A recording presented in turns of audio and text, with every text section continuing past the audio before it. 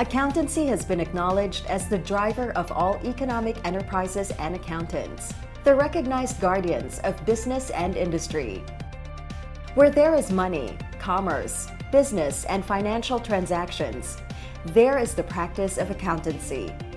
Any fully functional business, say a posh hospital, a humble school, an expansive construction empire, will all have one thing in common an accountant at their service. That makes us at PICPA the all-important flowing oil that grease all the gears of the economy of our country. We are PICPA, the Philippine Institute of Certified Public Accountants.